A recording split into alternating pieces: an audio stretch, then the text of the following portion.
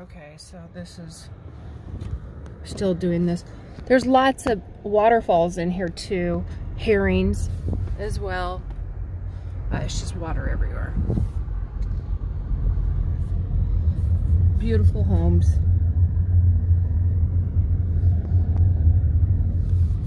kind of get an idea.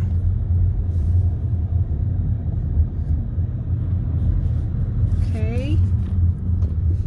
So yeah, again, if you get to the freeway and you head right, there's a piece of land available. Um, you'd go be 15 minutes away from Westgate. You know, it's a football game, ice hockey's, uh, 10 minutes from the casino, um, and of course the outdoor mall, and about 20, 25 restaurants.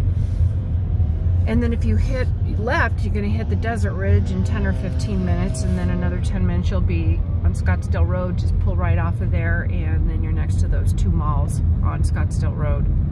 So you really do have the best of both worlds in this in this area. Um, and again, there's uh, a lot, it's just a lot more relaxed out here. Um, and it's very active, you know. Uh, probably, I don't know, at least, at least 100 people pass my house every morning. They're walking their dog or they're riding their bike or they're walking.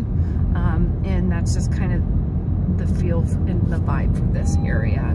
So we want to, you'd want to get two little bicycles too, so people can ride around here and have a good time. But yeah, so they just wanted to kind of give you an idea. So we're going to go into those mountains and, and that's where you can actually go hike and it's absolutely beautiful.